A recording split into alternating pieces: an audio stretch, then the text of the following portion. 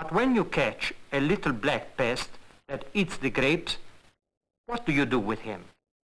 Such a little black pest was Antonio Finimori, a local fascist party boss, brought to justice before a British military court. Now Antonio faces the accusations of his fellow villagers. An 82-year-old farmer who has suffered extortions from Antonio. A mother of three, starved by Antonio for three days.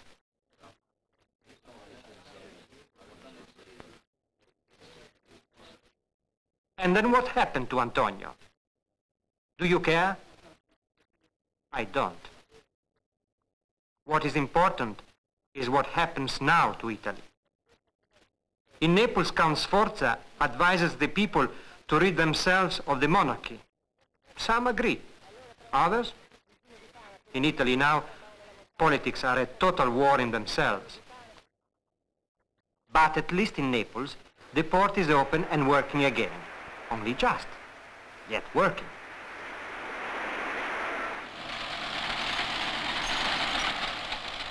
Most things that come in must be for war.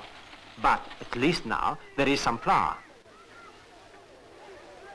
Now, new long and desperate queues, new agonies for a loaf.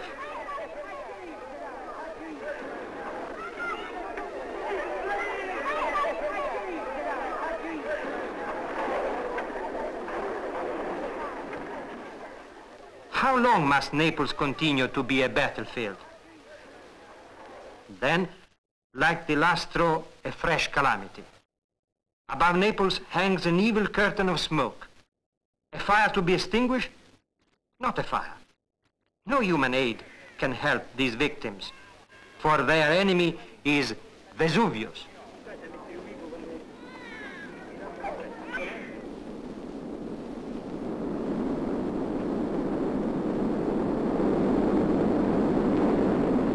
An eruption like this occurs but once in 10 years.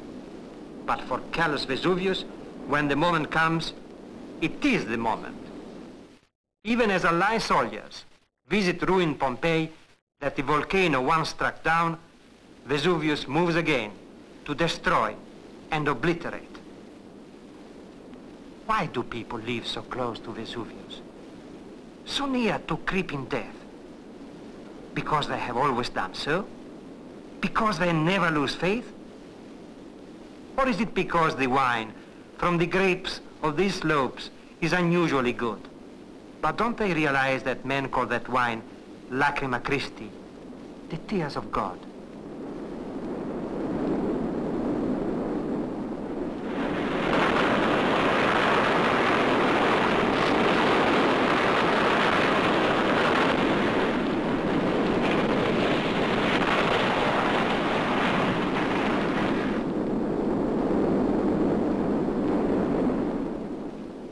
devastation by nature or by man.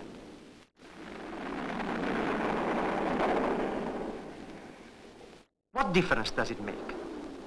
On the path to Rome is Cassino, a little town at the foot of a great wall of mountain. There German resistance hardens, and Cassino becomes a word for stubbornness and frustration.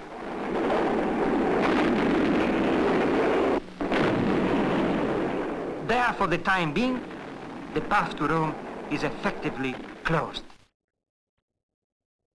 What does a soldier do in the long pauses between fighting? He writes home.